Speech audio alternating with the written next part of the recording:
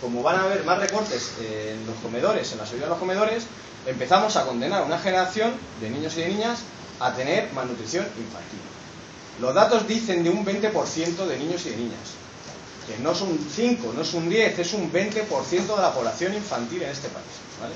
Y es un 30% en, situación de riesgo. Esos son los datos de UNICEF, no nos los hemos inventado, han salido hace 15 días exactamente. Eso sí, no se han difundido, pero han salido hace 15 días.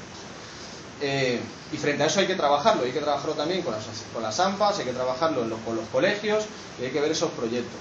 La realidad nos desborda, porque aunque nosotros pensamos que íbamos a, tener que trabajar solo el tema de libros y el tema de ropa, etcétera, etcétera, no tenemos ya ni la capacidad suficiente ni el ritmo suficiente para eh, resolver los problemas que están surgiendo en el día a día, como puede ser este caso de malnutrición infantil. Hay campañas ya, y eso es importante, ahí eh, Izquierda Unida puede echar una mano muy importante, es el tema es necesario que los colegios se queden abiertos en verano. Y este año no lo está planteando nadie, ya hay malnutrición infantil en este país, y es importantísimo que se reclame que los comedores escolares sigan abiertos en verano, porque hay muchas familias que no pueden darle más que esa comida eh, al día, o, o, bueno, no es la única, pero bueno, lo tienen muy complicado. También hablamos, de, lógicamente, de apoyo a la sanidad pública e universal. Como sabéis, eh, la sanidad universal en este país ha desaparecido, se la cargaron. Ahora, eh, si no tienes un permiso de trabajo de residencia, eh, o bueno, si, no estás trabajando, incluso ya está en duda también con las últimas modificaciones. Es decir, si estás en paro durante más de un cierto tiempo, ya también va, a peligrar. Por lo tanto, nos están quitando la tarjeta sanitaria. Eso quiere decir que ya no hay atención directa a los centros de salud. Ya hubo un compañero que murió, migrante en Baleares, por no- porque no lo atendieron en atención primaria, no lo atendieron en urgencias. Y al final acabó en el hospital y murió.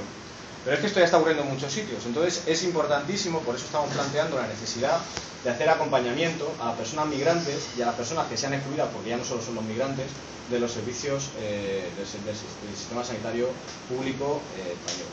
Eh, Médico del Mundo lleva trabajando ya esto bastante tiempo, nosotros queremos trabajar también con ellos y con ellas para hablarlo, pero bueno, que tengáis también como referencia que ya Médico del Mundo lleva trabajando este tiempo un año, han sacado una campaña que se llama Leyes que Matan, que es bastante potente y están denunciando estas cosas. Defensa contra la represión, y ya para ir acabando, lógicamente, bueno, pues como sabéis, estas situaciones, la defensa de, de estas situaciones, la lucha por nuestros derechos, lo que acaban siempre eh, es en la represión. Eh, es una lógica del sistema últimamente.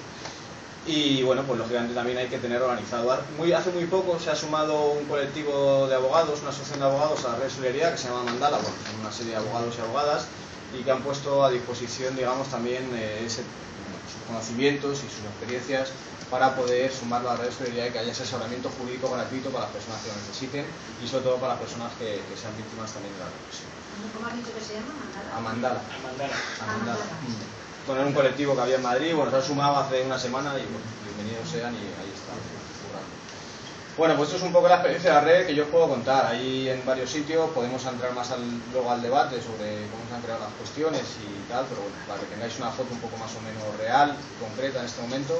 Ahora mismo la red está implantada en, en Madrid, en Cantabria, en Aragón, en Murcia eh, y espero que también en- en Valencia, que se lo merece por el gran nivel de lucha que ha tenido siempre esta ciudad y esta comunidad y por la gran militancia que tiene aquí también. Así que muchas gracias.